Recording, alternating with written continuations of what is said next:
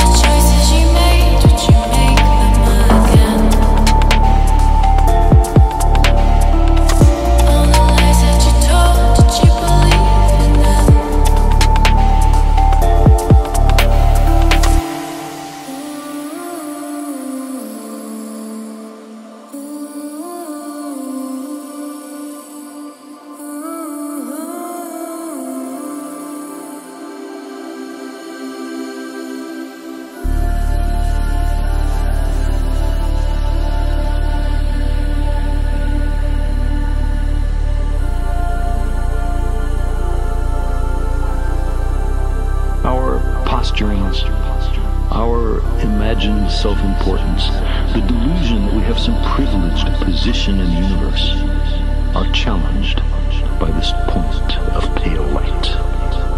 Our planet is a lonely speck in the great enveloping cosmic dark. In our obscurity, in all this vastness, there is no hint that help will come from elsewhere to save us from ourselves.